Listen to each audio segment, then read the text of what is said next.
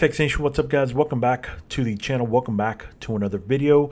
And in this video guys, we're going to be doing some back testing on AUD USD. So we're going to look at specifically this uh, this pair. We don't normally don't look at a lot of AUD pairs. So I found this one to be very interesting to, to look at and to, just to learn more about uh, the behaviors uh, that you would typically see on this particular pair.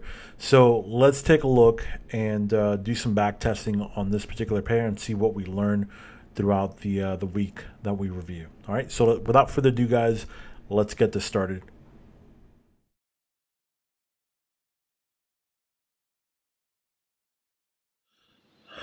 All right. So it looks like we had. how we had an ending of a trending cycle super late.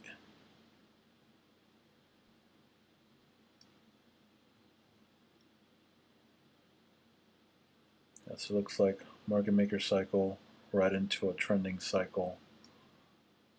And it ends on Thursday and then they drop it. So really the question is, I'm just going to assume that this is probably a,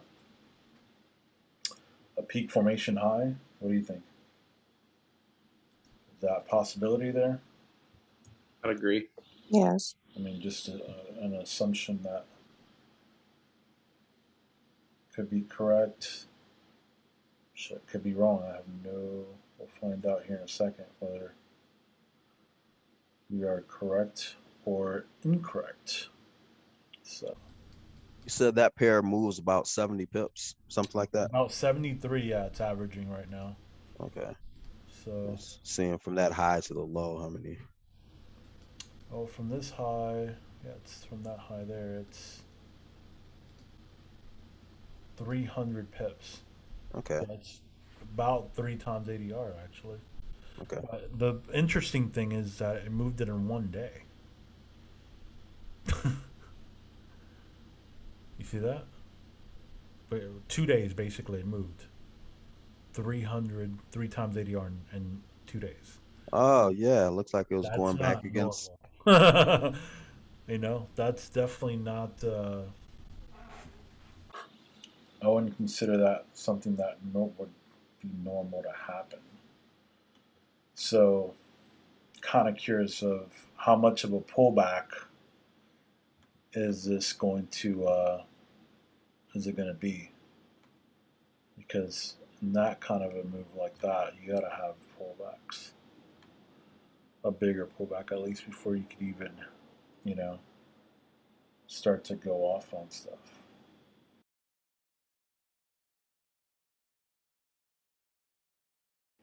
Well, this could be, hmm, maybe first leg here. Maybe this could be possibly a second leg. I guess it really depends on whether or not they take out that high, which they really don't. Yeah, they don't take out the high. There's probably an entry right here on this pullback because man I'd have to assume you got to have a with the move like this of 300 pips in a two a day and a half really because it only started really during New York of the previous week and then a full freaking day of of drop. You had a really nice look at that type 3 and then a, a continuation trade the very um, a really good, look at that pattern here. Do you see that pattern there? That star pattern, boom, boom, boom, boom, and then straight down. That's 8:15, right? This is No, no, at, in New York right now. That's 8:15 or 8 o'clock. The red candle. 815 candle, yeah. Okay. I wouldn't be surprised if that actually goes up and then whatever they do at 9:30 come back into it and then but we'll see. Yeah, I mean, I was just I, would be thinking maybe just take it to the you know to the 200. 200. get it to the 800, that'd be fucking great. But if let's see if this is a two to one or not. 12. Yo, Mark. Yeah. What about a multi-session W though? Well, that's what I'm thinking. Is that this ha- would have to be like a first leg, second leg here, and then it goes. I meant from Friday. Oh, from Friday. Yeah. I mean, then they would have to come actually back down again. You know what I mean? They got they would have to hit this low again. This to me, this wouldn't be a multi-day. You know what I'm saying? Right. I would want this to come back down and hit this Yeah. again, if that's the case, and then go. But the fact that they didn't do that, Right. Right. Right. Right. you know, it's reads right here. This is reading the second leg already. Mm, that. So that's why I'm thinking that this is going to go. And I mean, it's only a 12. The risk is super small with the reward being freaking a 5 to 1 just to get to the 200. You know, friggin' uh, 800, it's like an 8 to 1. So, the, I mean, the risk reward is super high, especially when you just moved. This is not normal for this pair to move 300 pips in a day and a half. It's just not normal. So you got to have some kind of a pullback and get that back. You know what I mean? If they're going to move down further, that's fine. But before you can move down further, they have to come back up and recoup some of this because this is not normal. That behavior is not normal. You know?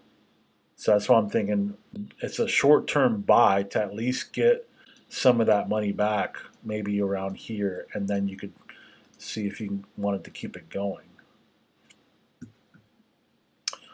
Um, but let's see here.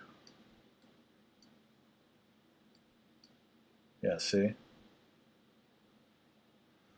Now the question is do they go up to 200 or not?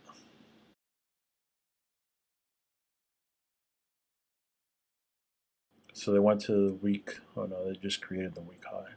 Okay. So they went what? Four to one. Almost a four and a half to one. So it didn't quite make it to the 200 there.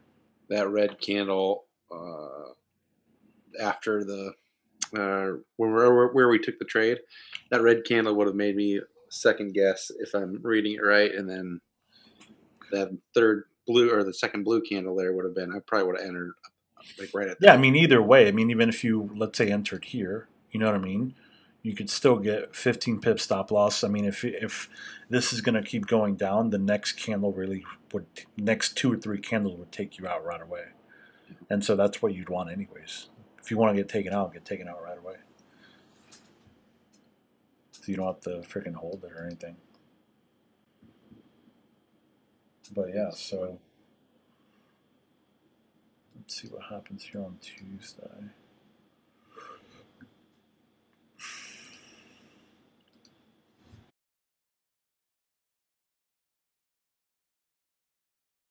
I mean, just look at the behavior, man. That's all you got to do. Why? Why would they be doing that? Think about it. Why would they be doing that? You know. Just think about why would they be doing that? You could have. I mean, this could be like a three-legged, you know, setup there, but you have your first leg here, second leg there. You got uh, one, two, three, four, five, six, seven candles between the first and the second leg. An entry on that pullback, you would, I mean, still look at this. All the way down here is only like 15 pips, anyways. So really, the the range that you could have the stop loss could be like super tight.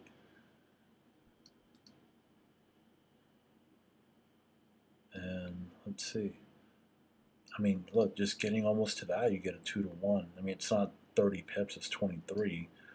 To get 30, you need basically to go to yesterday's high. You know? So, either, you know, if you take it super early, be here, this would give you, this candle would give you the confirmation though. Because they're moving, you know, they're moving out. I think a lot of people might get scared because they see it right on top of the 50. Um, but I mean, if you if you just don't get scared of that crap. Take think about it as that that's like your opportunity to take the trade because you're getting a pullback, you know, to uh, to that candle there. So I mean, the risk reward ratios are, are there. Let me see. Are you getting? Yeah. So like, if you look at this also, this is already reading this as a W here, and then it comes back, and it's reading it higher while this still went back down to the same area. So you got divergence there starting already.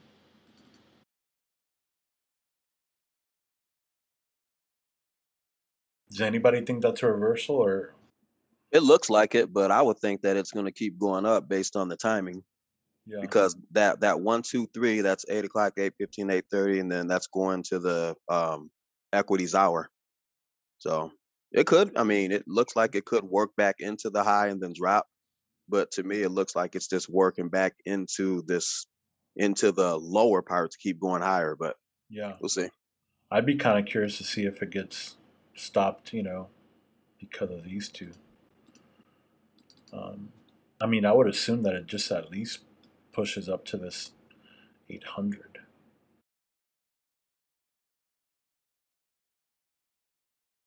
Man, this is why you make like trading decisions on closed candles, not open ones. Because I think this this right here could have gotten a lot of people. You think that would have got a lot of people to go short that move? I think so, man. Because Really? Huh. you know, I'm glad I don't look at it that way. to me, that's a long trade all day, but Yeah. only because just how I'm looking. I look at like you know I, I read the comments and stuff in the Telegram group, and I, I think that would have taken a lot of people to take that short, even though you didn't even have the confirmations yet. You know, Yeah. No, but you got That- to you got to uh, M on the TDI up in the kind of the overbought type of range. yeah, yeah, So it kind of kind of does show you like, hey, you know, if you're going just off that and you're using that as your confluence, I can see people getting trapped there. that's what I'm saying. But I mean, if you just wait for the confirmations of either you know a crossover um, or, or something like that, then you know that's where you got to make decisions based on off of the closed candles or whatnot, so not freaking, you know. Yeah, think about it now. They've gone back. Where's the thing at? From the time that they've they've now gone back, only 88 pips back from it. So I think they got a little bit more to go. I don't know, man. At least half of it, half of that move.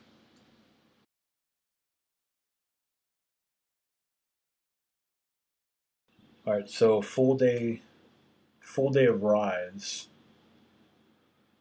on um on Tuesday. So what's the likelihood of what kind of weekly cycle this is? What are what are the options for weekly cycle so far? Trending or maker, market maker.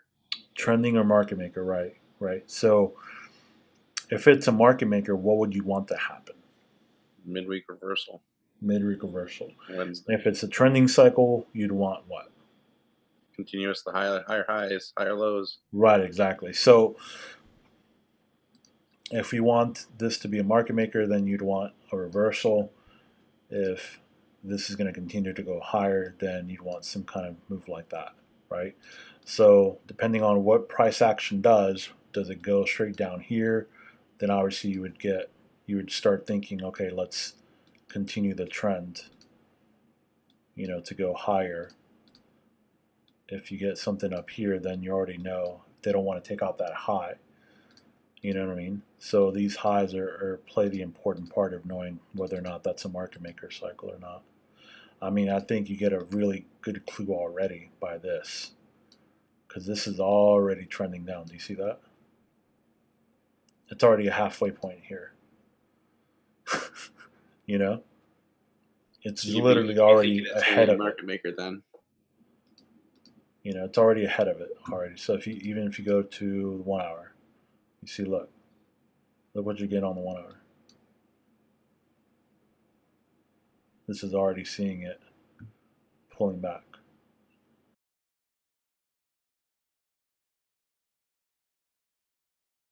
Thank you missed the entry. I, I would have entered after that um that last red bearish candle and the start of that. That's a blue candle on your screen.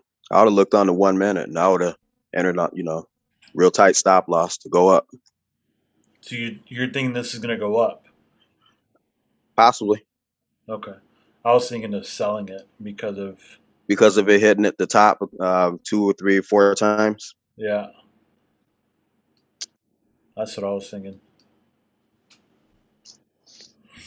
I'm thinking this right here, if you can get a pullback on the next candle, would be a good entry for like a type two. Oh, I didn't see the pins on top. All right, on your screen, I can I can barely see that. Okay, I see what you're seeing now. Yeah, now I see it. I was looking at the bottom. I didn't see the one, two, three pin to the top, and then come back to the bottom, and then pin to the top. Oh, I'll stay out of that one. I'm not sure. It can go both ways. But I do see the multiple hits to the high, and that is behavior that it wants to go lower. And you got you got a star pattern here on the second leg. Right. You got one, two, three, four, five, six, seven, eight, nine candles on the apex of it. I mean, you're. This is all good stuff here. Okay, and then to the left, there's liquidity to hit stop. So yeah, I guess I can see it going down. So, what does it look like? So it's only ten pips. I keep forgetting this is only. It's almost like trading Euro USD. so, all right. So two options. You get a pullback, half the candle back. It's a ten pip stop loss. If you don't get a pullback, then it's a fourteen pip stop loss. To take it to the two hundred would be a, only a one and a half. So you'd have to take it longer than that. So somewhere around here.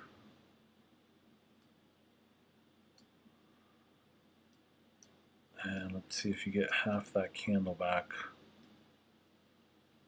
Almost, uh, yeah, still. You still, no matter what, need to go past the 200. All right, so let's see what happens here.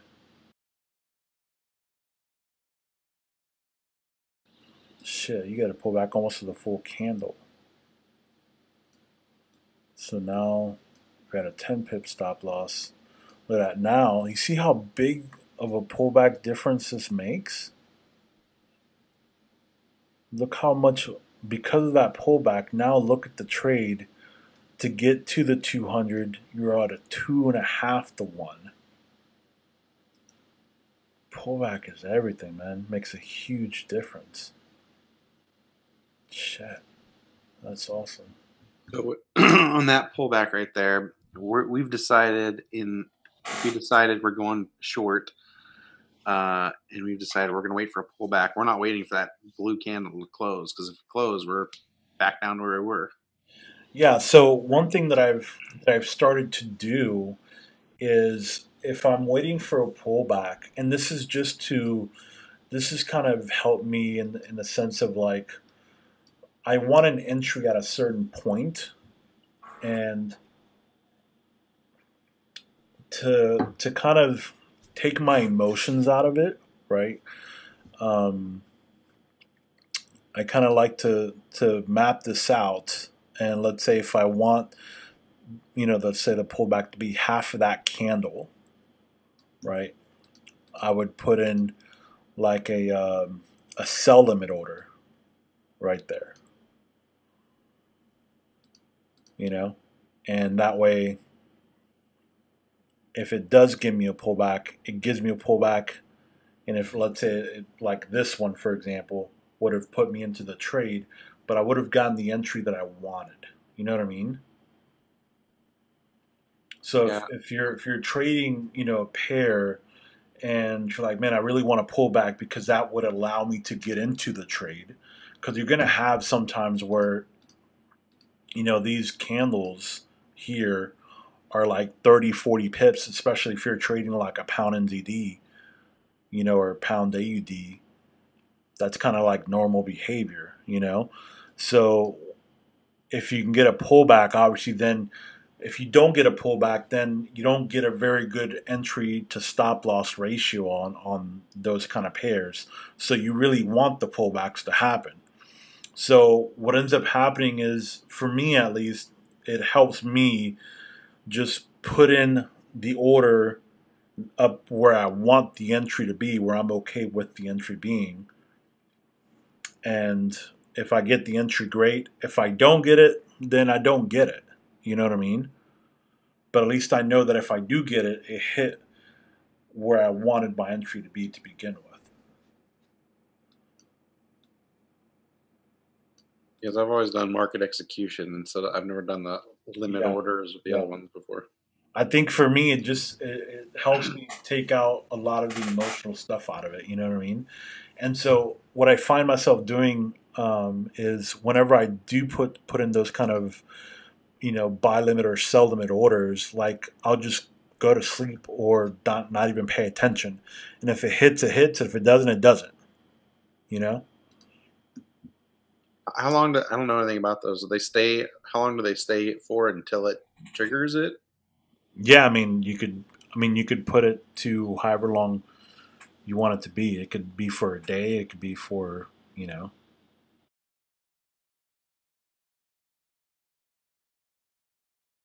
So shit. This ended up being, ooh, four to one. Look at this behavior right here. Look at that. That's coming back up. there you go. Look at that.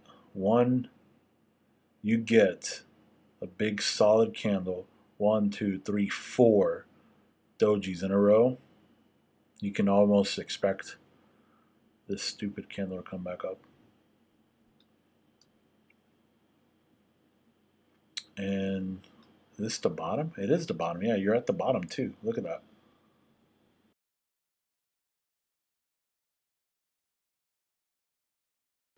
All right, so what are we looking for now? Sells. Sells, right? Looking for sells.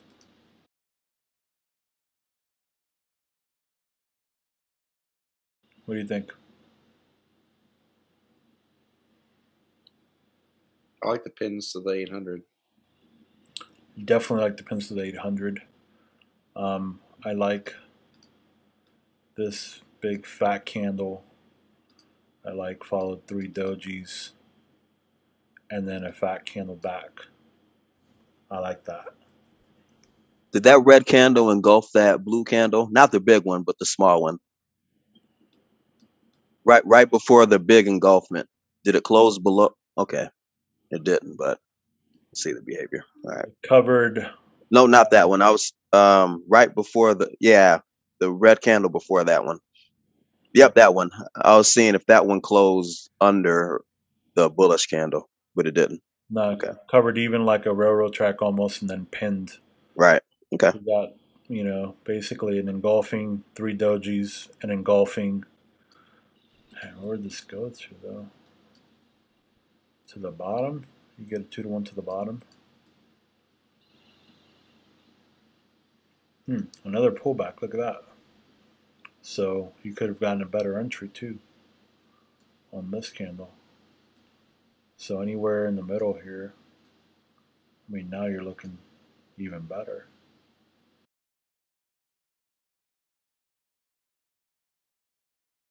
Damn, you already know what you're looking for. Look at that. What are you looking for? Continuation. it's the only thing, man. It's the only thing. It's a continuation trade.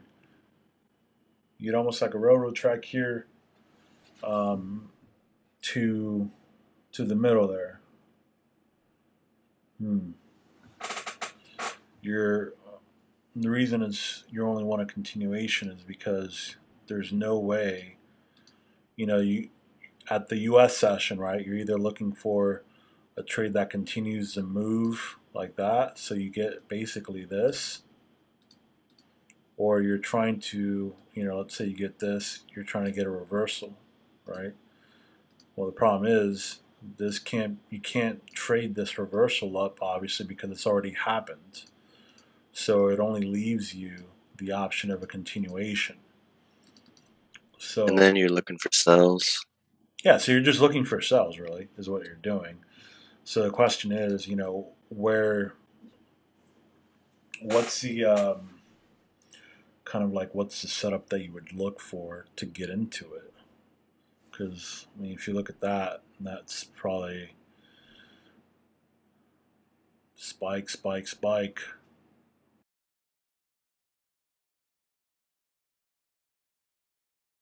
Gee, there you go. Went all the way back up. So it started this super early. You see that? But ultimately, you were right in the direction of the sell. But you would, have been wrong here on this. So, like likelihood of what you getting in probably here for a sell. You know what I mean? On a pullback or something. But you see two candles later, you're out of the trade.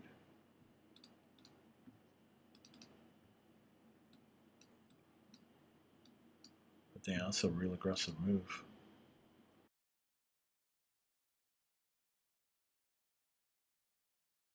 What does that look like? Oh, it definitely looks like it wants to go up. I mean, you are at a low, but to how far? I mean, I wouldn't take it, but behavior, it definitely looks like it wants to pull back into the short trade and do whatever. The question is, um, how far, right? The 20 pip, 20 pip stop loss, that doesn't make a lot of sense. And I mean, really, the first target would be where is it? The 50. So I mean, two to 1. did I get that right? Two to one? No. Yeah, you because you get in. Uh, this is a star pattern, so this will allow you to get in early after this candle. So I mean, if it's like this, just to the 50, you could do something like that. I mean, Is there a divergence on the bot on the, between the two? Um, yeah, yeah, because you know this one here sees it as a little bit higher than this one, but this one's obviously lower. So yeah, you do have some divergence there. That's for sure. I just know that it's almost like uh, you know we're in a market maker cycle, so you really technically want to get sells, not buys. You know and it's Friday, but I mean, you have the pattern. Um, you have good confluence here on the TDI. I don't know. Let's see what happens.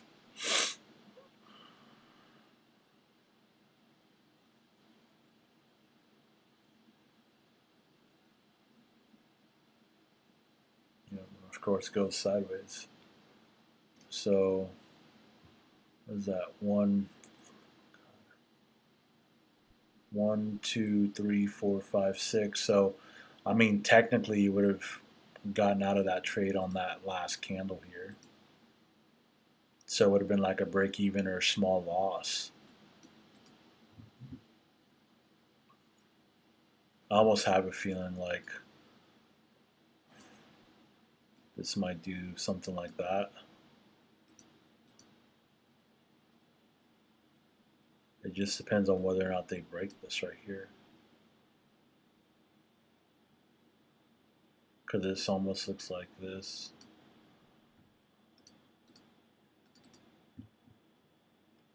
But this would have been like a small loss or a break even trade there. I mean, you're seven candles into the trade and you're not moving. Granted, you're not moving because of the timing aspect of it. So the likelihood that this will move during the US session. The question is, does it just keep doing that or does it give you, you know, that? Is really the question. There you go. There's the freaking pin. Look at that. That's got to be news. Yeah, that's news. That's 8:30 news.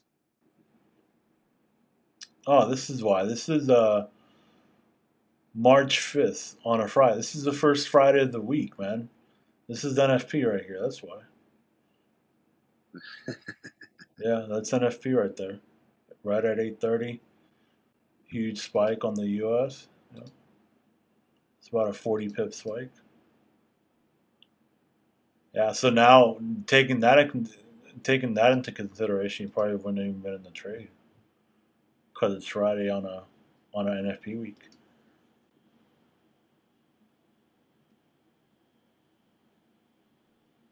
But yeah, so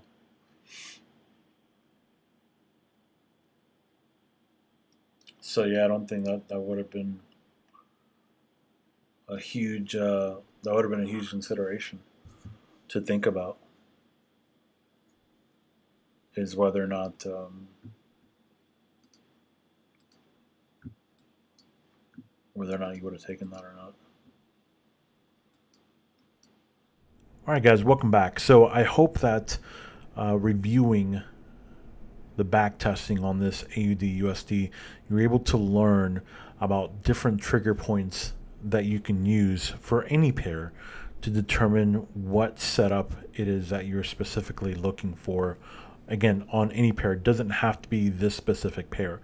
Um, if you like these back testing videos, guys, give this video a like, share the content, subscribe if you're not a uh, subscriber yet, and let us know in the comments what other pairs would you like me to back test, and uh, we'll do some back testing on those specific pairs.